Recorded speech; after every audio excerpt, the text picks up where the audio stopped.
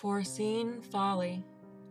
Scenes effortlessly fray at the frenzied seams of glorified life. An effervescent infused essence is required to overwrite specific strife related to the unruly rule dreaded by plenty.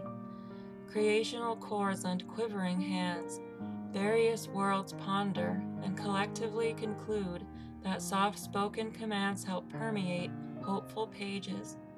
Among the stages, thespians of all ages excel at engaging theater goers galore. Those who possess such artful abilities hold the contents of contentment. Therefore, they are emotive messengers for many clutching the sword, engulfed in a battle to endlessly endure.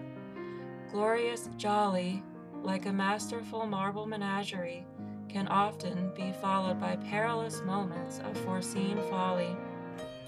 Falling freely, yet sleepily, as in the swaying style of a flying feather. Fantasized fairy floods trickle a treasury upon my mental eye.